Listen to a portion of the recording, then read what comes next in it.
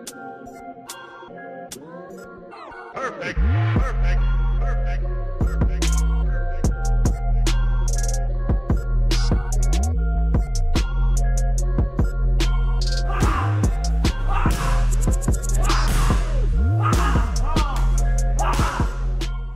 Fight Tips! My name is Peter Jumrukovski, Karate World medalist, author of the Goal Book, and host of the I Love Success podcast. I'm standing here today in Santa Monica behind the very rings that we usually see Conor McGregor training, and today we're going to talk about goal settings.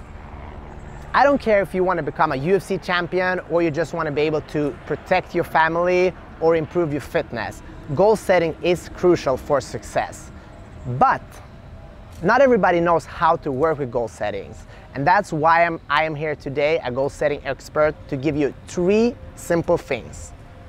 It's not rocket science, but all the best athletes, actors, entrepreneurs, and so on work like this. So it's time to listen, guys. Before we get started, I just want to tell you what is a goal?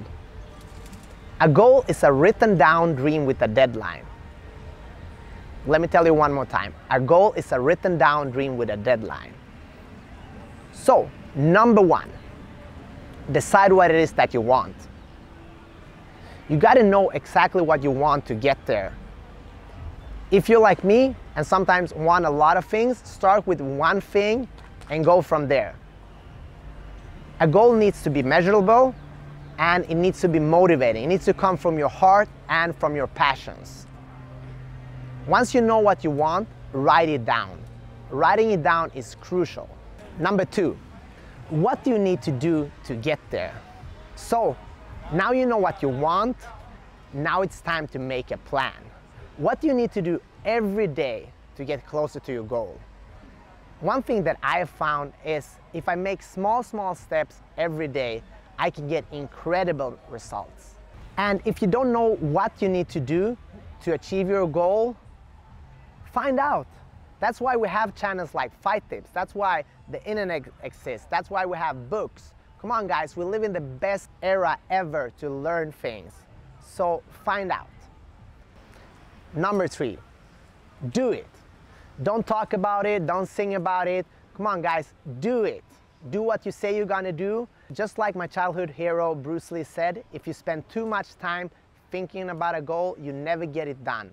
Make at least one move daily. Before we leave here today, I just want to give you one more example that Lyoto Machida, the UFC champion, said when I talked to him a couple of months ago on my podcast. He said, if you really want something, always keep walking. It doesn't matter what will happen during the way, always keep walking. So that's it, guys. If a regular guy like me can write a book in 40 days, become an eight-time national champion and karate world medalist, and start his own podcast and have guests like UFC champions, you can do it too.